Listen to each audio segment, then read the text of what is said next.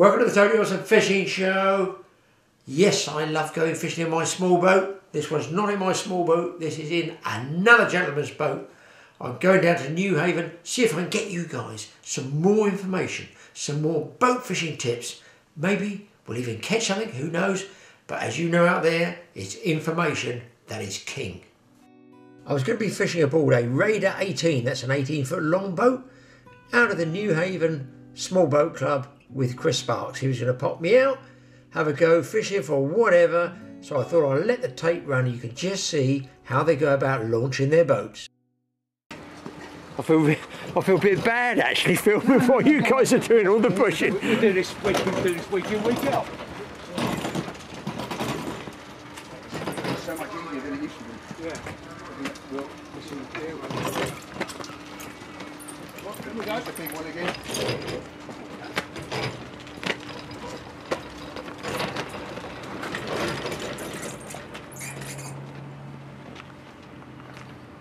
But w- there's a lip there Yeah. Which people moan about. And they say, oh, we're going to grind that out. And I always resist that and say, you don't want to do that because, to be quite honest with you, that stops your boat disappearing down the slip. Tight, that's tight then. You let it out about an inch.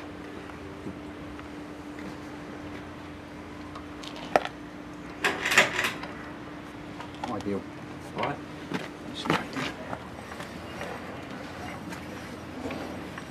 That's going to go straight on.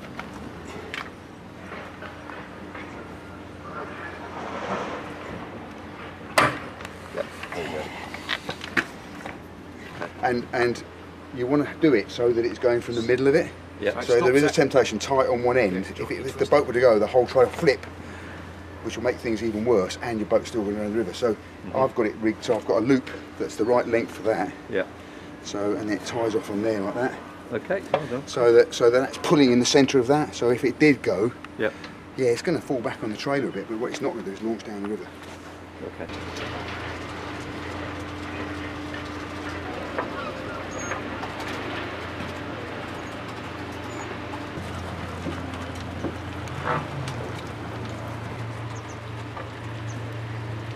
This looks like slow motion compared to the ECA because they fire it in because it's on shingle. Yeah, yeah. Well, you have to, wouldn't you? But uh, that would scare the shit out of me, I think. There is a way of doing it quicker, but we don't show people how to do it. Yeah.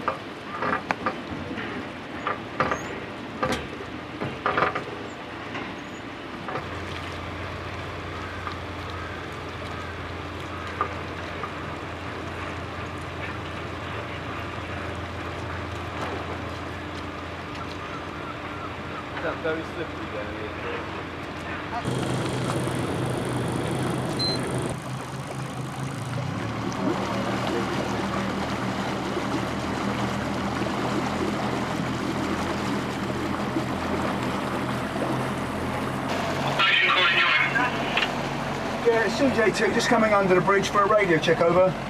Yes, okay, okay. Yeah, I can see that the ferry's steaming. Am I clear to leave or have I got to wait, over? If you just uh, let her come out number one and proceed down the river, then um, you may follow at a safe distance.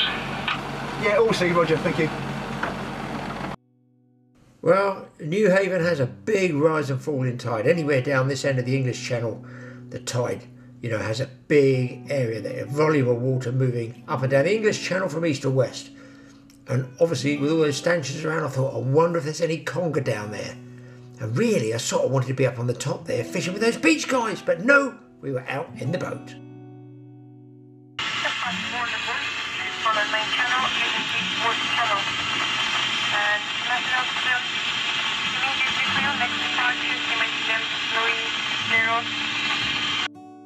And you can see here the beach alongside Newhaven is vast. Good fishing there, and yet no rods are out. Okay, Graham. So we've we've arrived at our destination, and um, unfortunately it's slack water. We've arrived just in time for the slack, which is nice because it means that we can have a little bumble around and look at it and look at the layout of, of the wreck. Um, and whilst we're waiting for the tide to start running, some a few drifts and see if we can't pick up a pollock or two. So we've got what, 20 minutes, half hour for the Yeah, tide I think once we'll, we'll see it. We'll, we'll, we'll see it today because I think uh, the, the sea is so calm, isn't it? And there's no wind. you'll suddenly see the boat start drifting in the opposite direction. And, and depth wise, what are we going to be fishing in today? Uh, we are in 105 feet of water. So um, it's it's in dive Sussex. This boat It- it's one that is dived. Um, it's not too deep for divers. Um, and if I can get it right, you'll, you'll see it come up on the sounder very shortly. So mostly pollock over here. Pollock, bass, cod. Um, obviously, pouting are always present. Um, black bream. You know, it's, it, the world is our bivalve mollusk, as they say. You know, I would expect best case scenario is we'll get some pollock off it. Okay. Um, we came out on Sunday, and the biggest one I had was about ten pounds on a wreck very close to this, actually. Um, there's a lot of small fish out here at the moment. We can't see them at the moment, but um, on Sunday there were huge flocks of gannets around. What do you reckon they feeding on, Chris? I, it's got to be sprats. Oh, it's too early for mackerel. And, and, and, and there's the wreck. And as I said, there's no secret numbers. It's a, it's a wreck. It's in Dive Sussex. It's listed in Dive Sussex as the Ashford. Um, uh, so if you want to look it up in Dive Sussex, there it is, and it will tell you all about what it was and how it, it sank. It was it'd been involved in a collision, uh, and it, it was being towed. An old one? Is it pretty old? Uh, uh, I don't know. You'd have to look it up off the top of my head. Um, The way to fish for pollock is retrieving a lure very slowly and drop your weight to the bottom with the lure attached and you wind it up at a nice steady speed, just enough to make the tail of that worm, whatever you're using, just wiggle and flash enticingly for the fish. You don't come up to the surface. I would suggest you generally go in the bottom half of the water, but of course, everywhere is different. And on this day, it was a bit of tough fishing, but we did luck out with some ordinarily, uh, when the tide's running, how many drops would you get up and down, you know, to, in the kill zone, as it were, when you say the tide's fast? Well, this this wreck lies across the tide, so you might get two drops on this tide on a fast tide, And then, and then it's back up again. and then you've got to go up, round, up tide, and then come round again. So it's hard work day. It's a hard day's fishing uh, wrecking, I have to say. Um, uh, most, the majority of the wrecks out here lie along tide, because obviously they were steaming down the channel when they were sunk or hit by a torpedo or whatever. Um, which makes them a little bit challenging to, to drift over because they're narrow. But if you get it right, you're over the wreck for quite a time. So so you can get three or four drops. And uh, I've certainly had one wreck where we were having triple hit hookups, getting down and having another triple hookup. Ooh, touch then. A bump. Yeah, a little bump. Then. So uh, coming off the bottom, uh, roughly what, 50 feet, something like that? Yeah, yeah. I mean, the pollock sometimes sit quite high up off the tide, particularly and bass as well. When the tide is not running like it is now, sometimes they're a long way up off the wreck. Um, when the tide starts to run, um, they tend to be a little bit closer into the to the wreck. But at the moment, we're in slack water, and and, and what you've got to kind of do is feel the, the pace of, of winding because again, because it's slack water, sometimes you've got to pump, wind quite fast. Yeah, yeah. Um, because you've got to try and to know, make, to, to make, the them- yeah. tail of the eel or jelly worm Yeah, and also work. to sort of to to give them that bite reflex, you know, they, they can oh shit, and they'll go and chase after it and get it. Um, Now, you're going to go up again in a minute, or shall I have a drop? Shall I wait till you go up again? because I think we're going to drift back over. We're, we're kind of we're slack water, so we're we're, we're we're over the top of wreckage now. Right. Better get some gear out here, guys. Right, boys, this time Chris has got something. I was snagging the wreck a bit, but he's got a fish on this time. So it's not a pouty. And several uh, bumps and bangs on the way up, wasn't it? Yeah, yeah, yeah. yeah. See what it is in it. Yeah, it's a nice little pollock.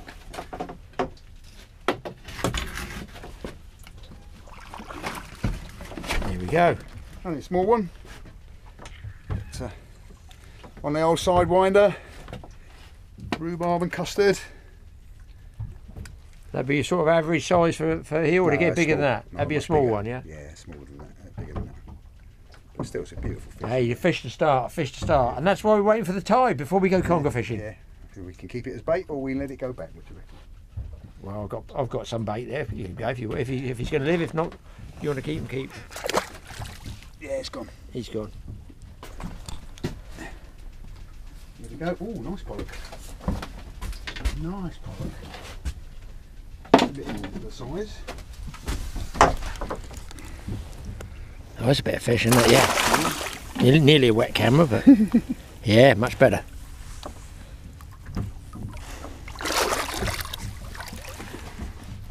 Mr. Sidewinder lure. Good show. Nice fish. Welcome aboard. Okay, so the tide is just starting to run now, and so we're going to think about dropping our anchor.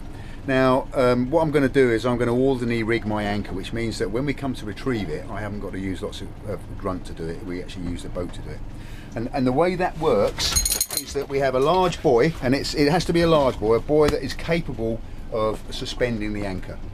Um, it's attached to what we call an Alderney ring, and that is a stainless steel ring reasonable diameter it doesn't want to be too small because what will happen is that when we drop the anchor the anchor warp will run through this ring okay and the buoy will be floating above the anchor warp now a little tip and something that I use to good good effort is once we've, we're in and we've got the anchor set down and what have you before I finally tie it off I'm just going to put a peg through or across the anchor warp that stops the buoy coming all the way up the anchor warp and then sitting underneath the bow of the boat. Now, there's a couple of benefits to that. The first benefit is when I come to retrieve it, I can see the buoy out ahead of the boat. Okay, so as I steam up tide to retrieve my anchor, I know which side of the buoy I'm going to go to uh, to pick the anchor up. The second benefit is that this buoy is sitting on the anchor warp and it, every time a wave hits the boat and it pushes it back this acts like a big spring. So it's actually just shock absorbing the anchor. So it helps remove the risk of the anchor becoming pulled or pulling out. So I, I forget who showed me how to do this but it definitely works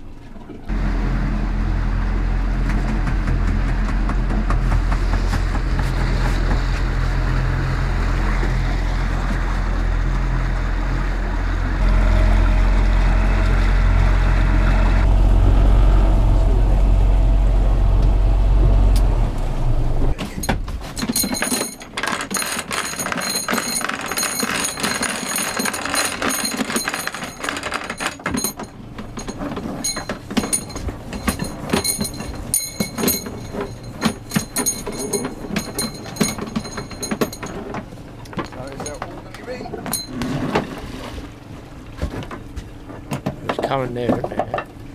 Where we're also we Oh, are it's got a bit of way on the boat, Yeah. haven't? Yeah. Right, so that's the anchor down. So we're going to let it down a bit more. The boat backwards a bit. so it won't twist over the boat.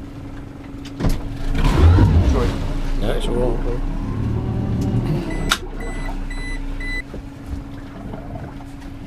Clove hitch. Peg through.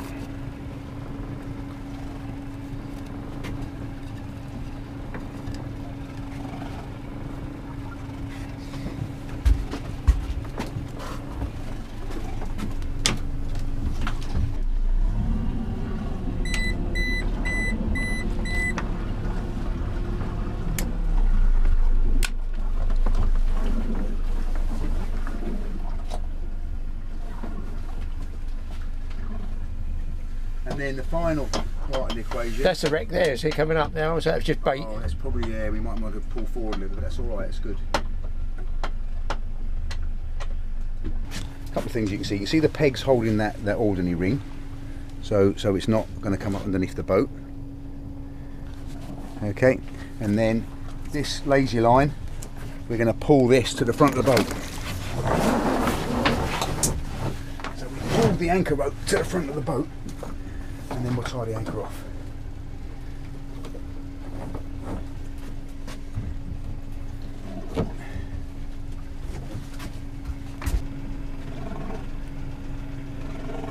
Okay, Graham. Well, the bait that I'm using today is baby cuttlefish, and without a doubt, this is the bait for conger eels.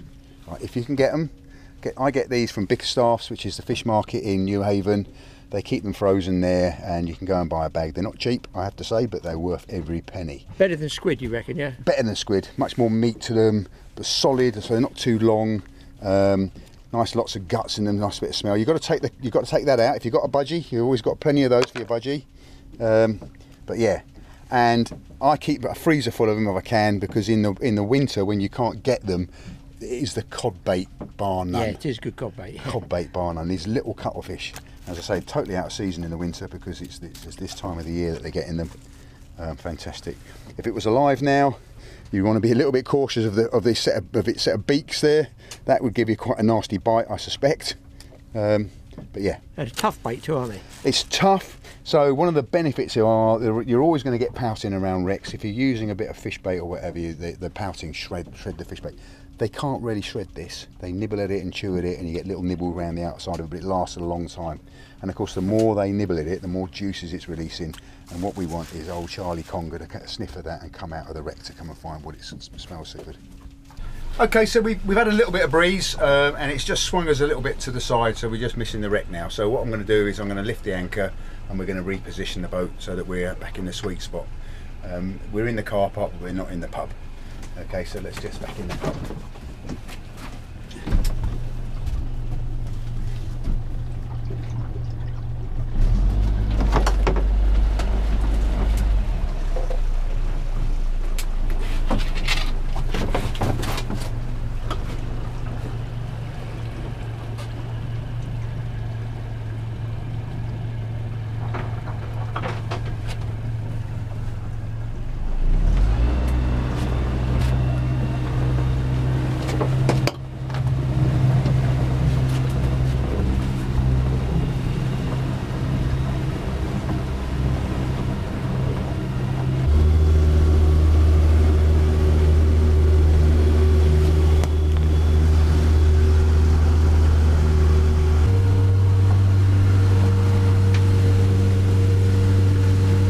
Yeah, and the thing you've got to note when you're doing this is you have to make sure you're keeping an eye on that anchor rope because what you don't want is it to go round your engine.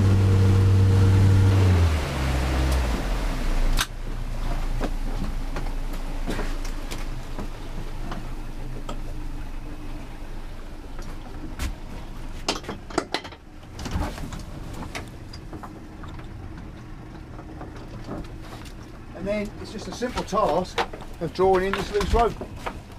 We're not, we're not lifting up any great heavy anchors or anything like that. The anchor is floating underneath the buoy.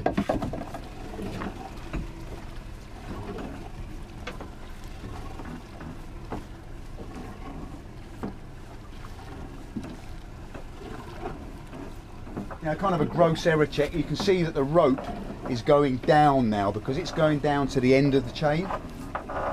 The chain is up through my uh, Alderney ring and the anchor is hanging underneath the buoy. If, if we hadn't got it right and the anchor was starting to sink back to the bottom, you would feel it going. And that means you've got to stop doing what you're doing and have another go pulling it up.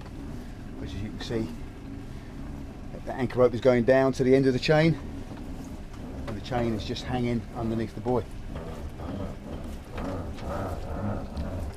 Because we're going to reposition, I'm not boxing the, the line. I'm going to make sure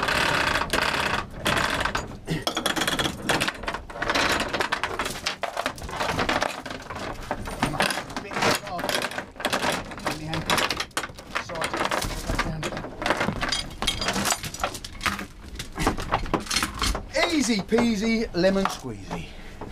Worse than me. Sorry. I'm only watching. So, so here's a tip if, if you're pollock fishing wrecks. I, I tend to favour these booms as my um, my preferred boom that keeps the, the, the line and the weight and the, and the bait away from each other. Now, you'll probably find that if you're using these booms, they are real difficult to thread the line through. So, so what I do on a cold winter's night is I get a packet of these booms and I thread a bit of line through, a bit of monofil through, and I tie it off so there's a loop at one end, and I tie a swivel and a bead on the other end. And then I get, I'll have about 10 of these in my tackle box already tackled up, uh, so that when I'm tackling up to, to uh, drift over a wreck, those are all ready to go. So it's literally clip it onto a swivel on the end of my rod, clip my hook length on at the other end, and attach away. And I and I tend to use rather than using swivels and etc. and what have you, I use a little bit of kitchen, oh, sorry, uh, garden wire. Uh, so you, you can twist it on. You can twist it on as strong as you like. So if you if, if you're worried about losing equipment and you and you want to have a, a sort of a, a safe breakout, you need, only need to put this on with one twist. So that if you then if the weight gets caught in the wreck, it's going to free and, and, and go be left behind, and you can bring the rest of your gear out. Or if you want to make sure it's on and it's not coming off, then obviously you, you can wind it up and twist it on nice and tight. But that is just garden wire that you can buy from any garden shop. And so that's it. And you can buy these online um, or in tackle shops in packets of six or ten, or you know from some of the companies like Veals, you can get big packs of them. And as I say, just make them up.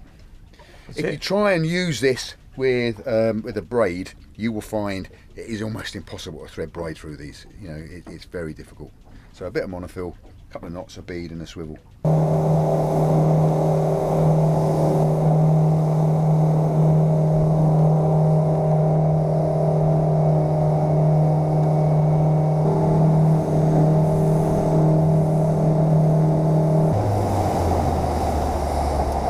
Okay, well we've had a good day's fishing and, and we haven't actually caught a great deal, but it was a beautiful day out here and, and on a day like today, fish are a bonus. And we're going to steam back in. But one of the things I always do before I steam back in is I just make sure that I'm running on a fuel tank, a, a full tank of fuel, because what I don't want to be doing is running out of fuel as we're going into the harbour. And also, it's not good. It's not good to run the tanks dry. So I'm just going to swap over to a full tank, so I'm sure I've got a full tank on. Make sure that we've clicked this in and it's clicked in, it's not just hanging in there. And the last thing, make sure that you undo the vent, because otherwise your tank's just going to suck and, and collapse. Push them back into place. There is actually plenty of fuel in the first tank, but uh, as I've said a million times, I always like belt and braces.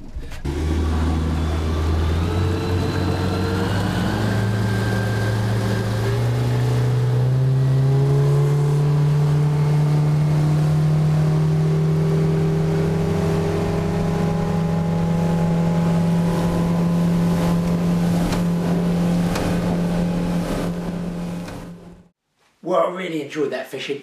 Do you know what? It's not always about big fish, is it? It's about enjoying that day fishing. Now, another thing I enjoyed was babysitting. That's right. I got a call from Mike. He said, "Can you look after our young one?" I thought, "Oh, "I've got, I've had kids. I've, I've done all that nappy changing. I've been up in the middle of the night, all that business at two and at three and at four. Well, actually, I woke the wife up, you know, to say, "Go and sort that boy out. Go and sort that daughter out." They're your daughter and that's your son. That's the way you do it, isn't it, man? And he could stay in bed a bit longer. Anyhow, I thought this one could be trouble. It's a male. You know what boys are like. And this boy is a bit of a tough one to handle. We're going to go for it. We're going to try and babysit him. We thought if we take him out in the countryside somewhere, he might sort of calm down because he's a sort of hyperactive person. And when I say person, I mean I speak the same language as him. Luckily, um, I can converse with this type of person. Anyway, he's due here any minute. I think he's, I think he's coming in now. Oh, I better get ready for him. That sounds like him now. That sounds like him now.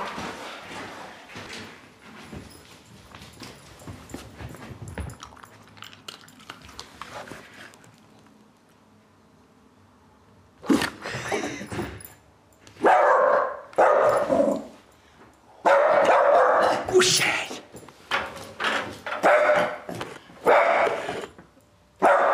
Now, where do you want to go? Do you want to go?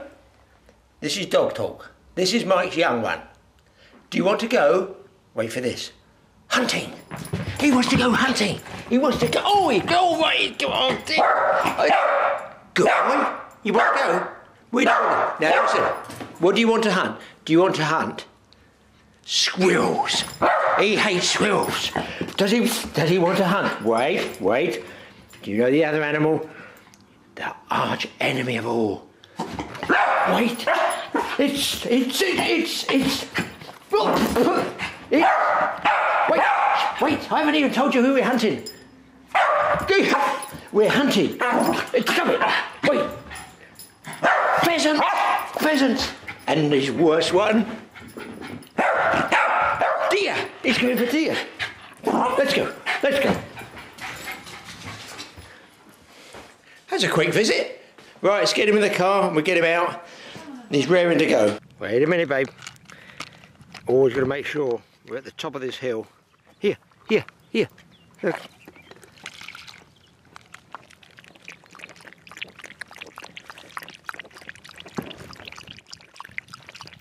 I thought he needed some water. Good boy. Good boy. Good boy. So here we are. We're on the picnic with the young one, babysitting, and we've come to the top of Old Winchester Hill, which is also a nature reserve. It's in Hampshire, and when you get to the top of this, I think there used to be like an old Iron Age fort or something there. But you know, as you can see in the background, a massive amount of yellow oilseed rape. Goes over there. And it is absolutely fabulous. So we just gave the dog a drink. His name's Jack, belongs to Mike. And hopefully we him to the top of the hill. To get together with the wife, of course. The wife's on a lead as well. And then we'll see, have a little picnic and show you some of the scenery you can see from way up high on the hill.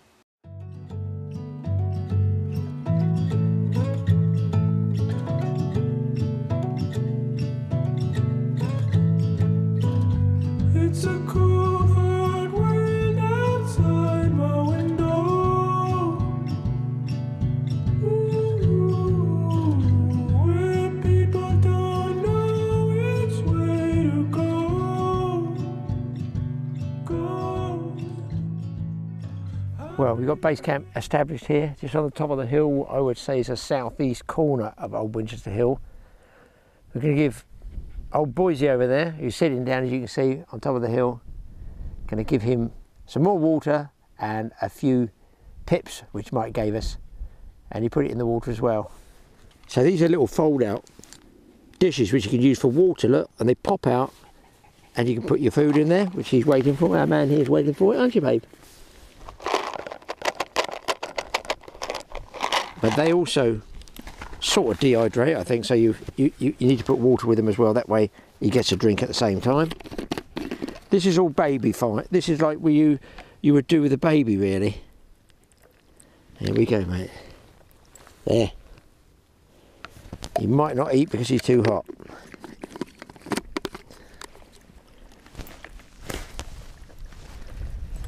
He's actually wanting the water a bit more than he wants the uh, the food. Yeah, he's not hungry, he's thirsty.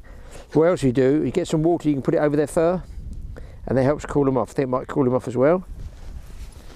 He's enjoying life, look. So, although we have this baby to babysit, I have no problem with dogs because I've had three of these Jack Russells for 45 years. And uh, they're very loyal dogs. Very sharp, very good ratting, aren't you, mate? Good ratty. He likes this grass, that's for sure. I just hope he's not rolling in anything nasty. Come on, son. Come on, son. Yeah, yeah. Good boy. Good boy.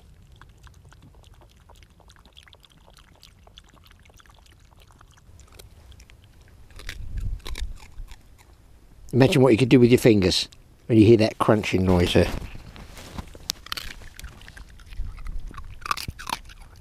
Good boy.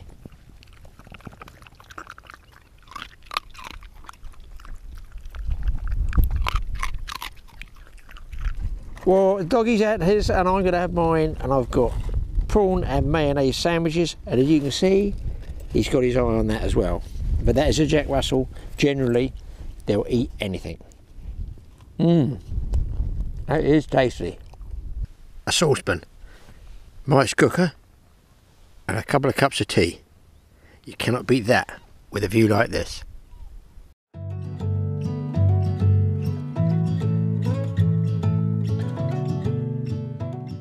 Now anyone who's got a dog knows they go ripping around doing all that digging up, but with a Jack Russell, if there's a hole, he's going to find it.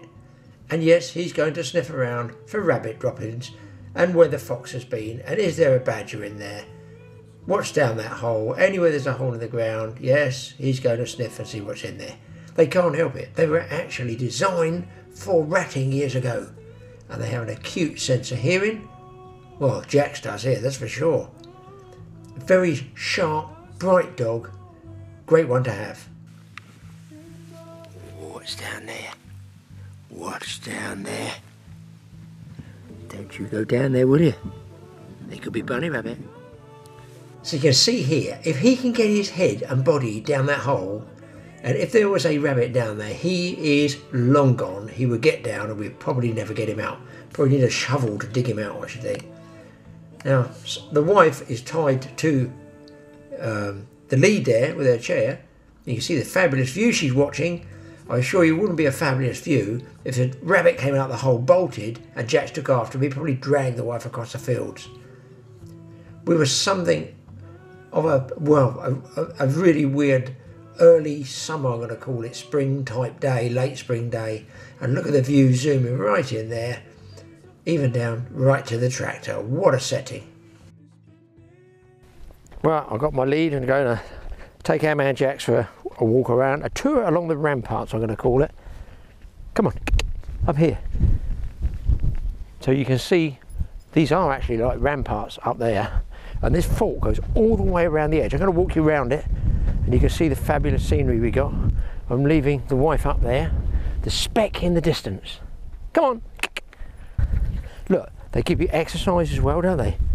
You can interact with watching them look, sniff, spot things, hunt things, everything. You're looking at what they're doing and they're enjoying the day, so you're enjoying the day. I'm not a cat person, I have to say. I am a dog person, particularly a Jack Russell type dog. Go on. What a view, what a glorious day after a great day's fishing. Coming out the next day, and do you know what's good about this, people? What's good about this is that the wife's going to be so happy, she's going to give me even more time off to go fishing.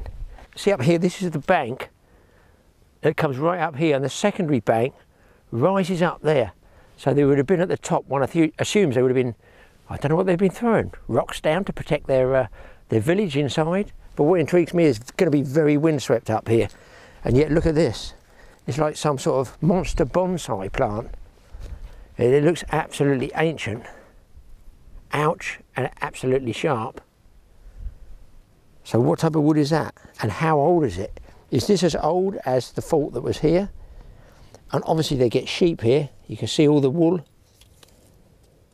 They're, well, they're be quite tall sheep actually. And are these, look at this one. Is that some form of ancient artifact, I ask myself? A pummeling device. Anyway, I'm going to tow around the uh, perimeter, show you some of the views from the top. Doggy's going to come with me and then he's going to have a thesis on what he's done during the day and he'll have to write it out for his homework. Won't you, Jax? Sniff, sniff.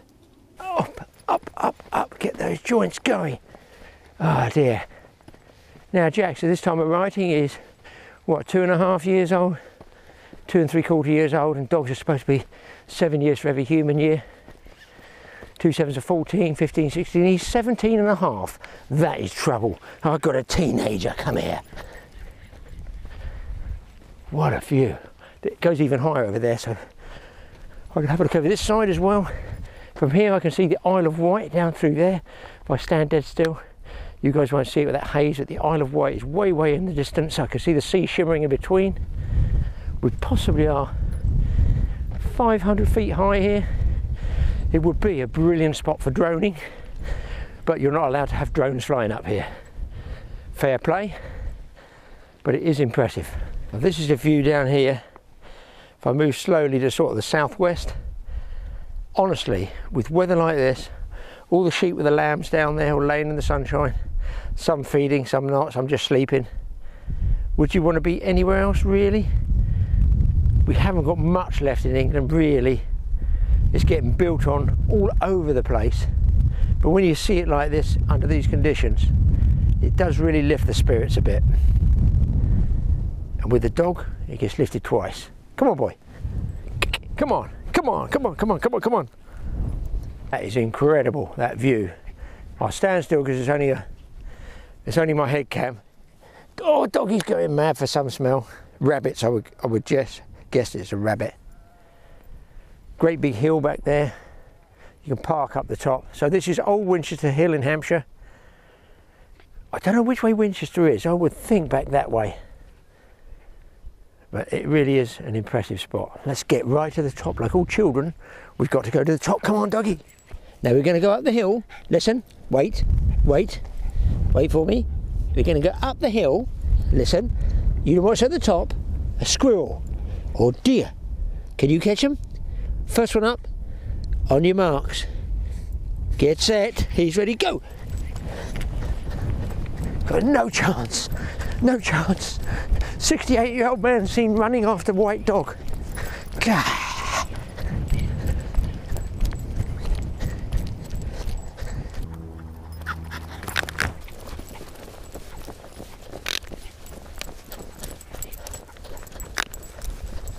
Get down there, going first? Oh, I can't keep up with him. Whew. And there we go. This is where they... Uh, this is where they. This is where they put old men who can't run up hills. This is where they would put coordination devices to fan across there and get um, different levels of degrees. And if we look at this, we're right on the top of it now. It says here, Old Winchester Hill National Nature Reserve, the panorama from the Ordnance Survey, Trig, I guess trigonometry, January 74. Well, I thought we were 500 feet. It's 648 feet. All distances shown are in miles, unless otherwise stated. I thought Winchester was over that hill, and there are other hills. Southampton is that way. Oh, it doesn't tell me. Chichester Harbour, the area I fish from, is that way. So there you go, folks. You are on top of Old Winchester Hill, which was originally a fault at the oilseed rape. And there's specks of people on the horizon just down there. There's people just walking back, and I think that's where we're off now. We've had a great time. It's windy up here. It's not cold at all. I've got to find the wife. Does anybody find? Excuse me. Anybody up here know where my good lady wife is? On top of the world. Oh look, this is interesting. the tide must come up here a long way. Somebody's left a rod rest. I tell you, we don't get many days where you can uh, come on of a 650 feet hill and not get blasted by a freezing wind. It's like a hot air dryer today. And I feel I could go carp fishing tomorrow. Oh, there's a good lady back this way. Back this way.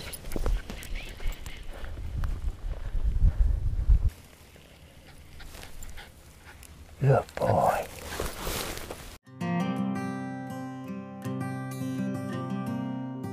You can see all the lambs there.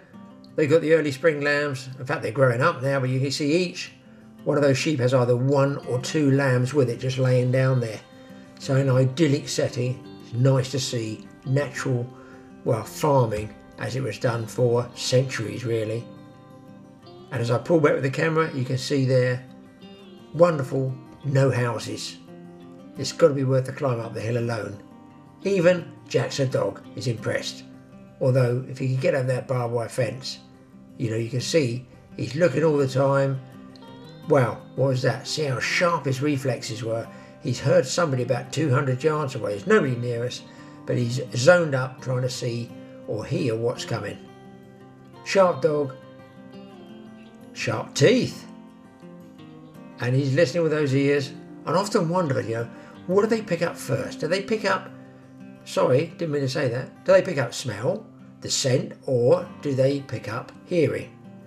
I don't know which they pick up, but he's having a roll around. One assumes putting his scent all over the grass, having a shake up. And, oh, let's face it, guys, what's next? Like a young one? Oh, here we go, here we go. Don't tell me he's not a, rat, a natural ratting dog. He's down the next hole he can find. Right, filthy nose, look at him. Mice, rats. You better move on, guys, because this dog is going to find you.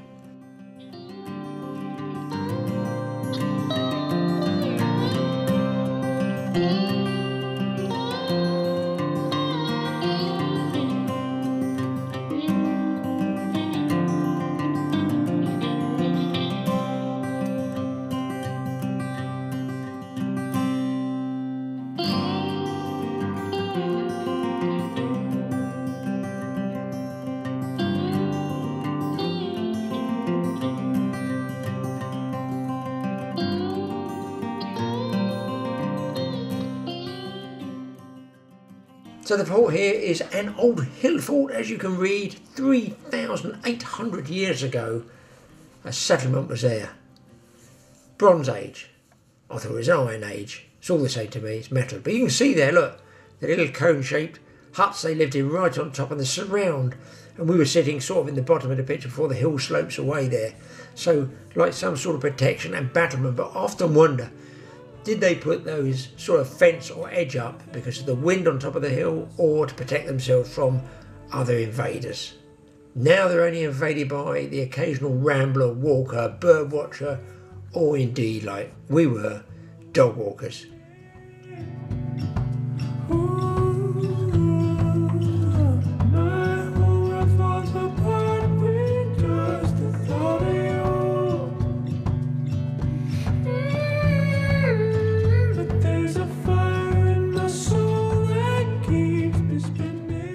So that's ended my babysitting period afternoon here.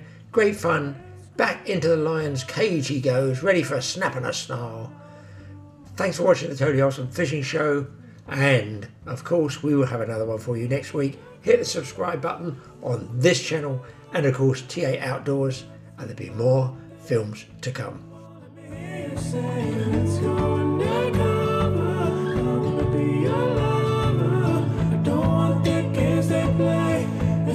so we